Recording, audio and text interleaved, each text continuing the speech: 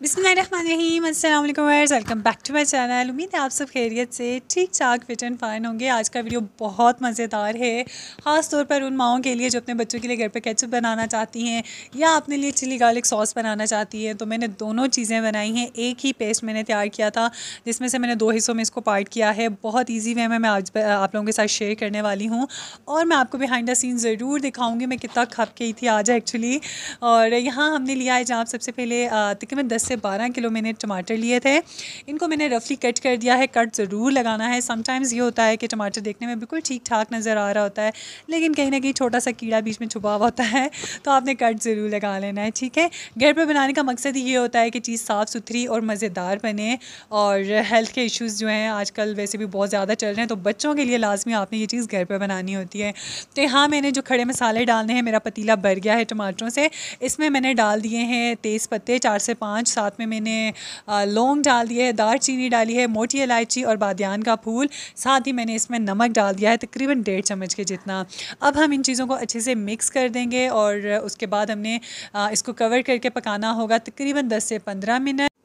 तब तक जनाब आपने क्या करना है? अगर आप चैनल पर नए हैं तो प्लीज़ सब्सक्राइब कर दीजिए। इससे हम रिक्वेस्ट और अगर वीडियो पसंद आए तो लाइक और शेयर ज़रूर किया कीजिए ओके और जो चीज़ आप ट्राई कर रहे होते हैं तो प्लीज़ फीडबैक ज़रूर दिया कीजिए कमेंट करके बताया कीजिए आपको हमारी रेसिपीज़ कैसी लग रही है। अच्छे पार्ट मैंने बीच में से कट नहीं किया वीडियो थोड़ा सा लंबा हो रहा था लेकिन मैंने कहा जो बिगिनर्स है जो फ़र्स्ट टाइम बना रहे हैं उनको नज़र आना चाहिए कि स्टेप बाय स्टेप आपके टमाटर्स की आपको क्या शक्ल नज़र आएगी ठीक है? बीच बीच में आपने जो है ना देखते रहना है ऐसा नहीं है कि आपके टमाटर जल जाएँ। सही हो गया। तकरीबन दस से पंद्रह मिनट लगे थे, उसके बाद मैंने इसको चूल्हे से उतार दिया। जब इसमें से बहुत ज़्यादा जो गरम गरम सी बाप निकल रही थी, वो थोड़ी सी कंट्रोल हुई। तो मैंने इसमें से जो है तो जितने भी खड़े मसाले हमने ऐड किए थे, वो भी निकाल दिए हैं बीच में से, ठीक है? तेज़ पत्ते डाले थे मैंने वो मैं बताना पहले भूल गई थी। मैं वैसे भी डिस्क्रिप्शन बॉक्स में लिख लूँगी, मैंने कितनी कितनी मकदार में डाली थी, ठीक है?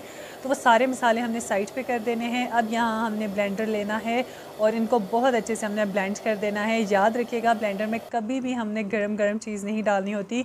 थोड़ा सा ये रूम टेम्परेचर पे आया था, उसके बाद मैंने इसको ग्राइंड करना शुरू किया था। ठीक हो गया। अगर आपके पास दूसरा हैंड विस्कर जो होता है विस्कर नहीं ब्लेंडर आया हुआ है आजकल जो आप चूल्हे पे रखे हुए, या आप यूज़ कर सकते हैं। अगर वो है तो बहुत ही अच्छी बात है, आपने इसी पतीले में डालना है और आपको ज़्यादा बहुत मेहनत भी नहीं लगेगी। लेकिन यहाँ मुझे क्योंकि मेरे पास वो वाला ब्लेंडर नहीं है तो मुझे इस तरह से करना था तो मैंने थोड़ा वेट किया था कि थोड़ा सा ठंडा हो जाए, फिर उसके बाद मैं इसे ब्लेंड करूँ। ठीक है? तो यहाँ इसको हमने अच्छे से अच्छा मैंने थोड़ी मोटी वाली छन्नी से इसको छाना है, बहुत बारीक वाली से मत छानिएगा, बचेगा कुछ नहीं, फिर आपके पास ठीक हो गया।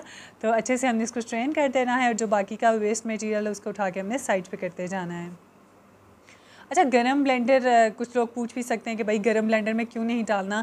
तो ब्लेंडर में हमेशा नीचे जो होता है ना, इसका जो जॉइंट होता है, वहाँ पे एक रबड़ सी लगी हुई होती है। तो अगर आप गरम गरम डालोगे ना तो वो रबड़ जो है तो वो ख़राब हो जाती है तो फिर जो आप कोई भी मटीरियल दोबारा उसमें डालोगे तो वो लीक करेगा, ठीक है? तो उस चीज़ से बचने के लिए आपने हमेशा ठंडा ये करके यूज़ करना होता है। अच्छा अब यहाँ इस स्टेज पर जो है ना, मैं इसको दो हिस्सों में डिवाइड कर रही हूँ। मैं चिली गार्लिक थोड़ा ज़्यादा बना रही हूँ और सादा वाला केचप थोड़ा कम बना रही हूँ। सादा वाला मैंने जो है तो वो पेन में अलग कर दिया है। और उसका तकरीबन वन थर्ड पार्ट जो है ने अलग किया है और चिली गार्लिक के लिए मैंने थोड़ा सा ज़्यादा लिया है। और चिली गार्लिक के लिए अब हमने जो मज़ीद सॉस तैयार करनी ओके okay, तो हमने जो इसके लिए मज़ेदार सा तैयार करना है ना सॉस उसको मैं आपको बता देती हूँ। मैंने एक कप जो है तो इसमें सिरका डाला है। हाफ़ कप के जितने मैंने लहसुन के जवे लिए थे और उनको मैंने छील के इसमें डाल दिया है। ठीक हो गया।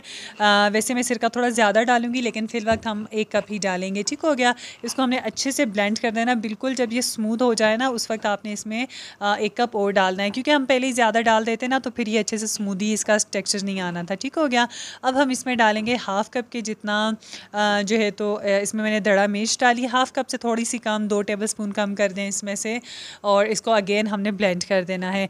एक चीज़ और मेंशन करना चाहूँगी, अगर आपके पास घर में जो है तो कश्मीरी लाल मिर्च जो गोल गोल दाने वाली होती है ना, अगर वो है ना तो आप दड़ा मिर्च की जगह वो डाल दें, उसका फ्लेवर बहुत मज़े का आता है।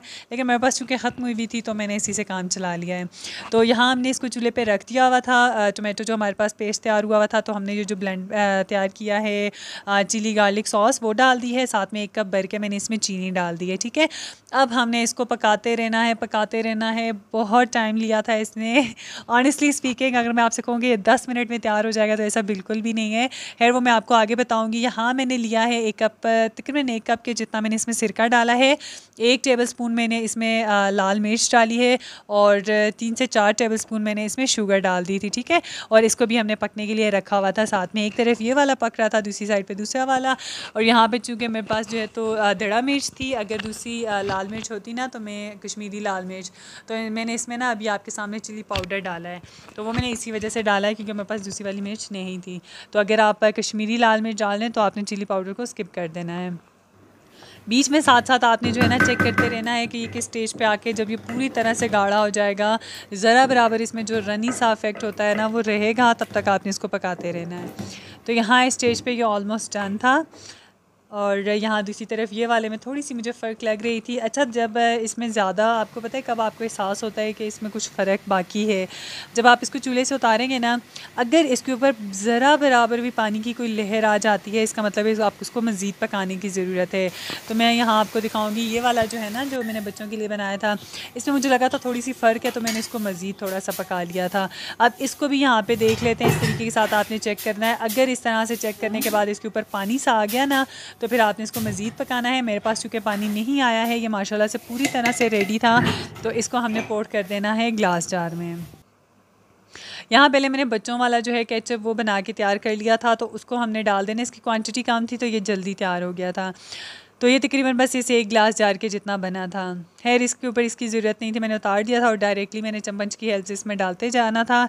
और ये मैंने इसमें डाल दिया और ये इतना मज़े का बना था। यकीन करिए, आप अपनी आँखों के सामने जब बना रहे होते हैं, क्योंकि हम रेडीमेड बच्चों को जो है तो केचप नहीं देते और बच्चे केचप के बगैर चीज़ खाना पसंद नहीं करते डेढ़ सौ हमने ये घर पर बनाया था और, जो है तो आप भी ये चीज़ ज़रूर कीजिए बच्चों की सेहत के लिए, क्योंकि जो रेडीमेड होता है, उसमें कहीं ना कहीं कोई ना कोई केमिकल्स और आर्टिफिशियल फ्लेवर्स होते हैं तो वो चीज़ में माएँ सेटिस्फाइड नहीं होती हैं तो आपने ये घर पर बनाना है।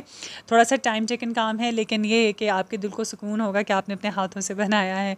तो यहाँ पे जनाब चिली गार्लिक सॉस भी तैयार हो चुका हुआ था। ये इतना नहीं है जो एक कप में आपको नज़र आ रहा है। ये वीडियो के लिए मैंने सामने में रखा था। पूरा जो हमारा पतीला था वो पूरे का पूरा इसमें आ गया था, ठीक है? तो ये बड़ी बॉटल जो है चिली गार्लिक की थी और छोटी वाली जो है ना सिंपल टोमेटो केचप था।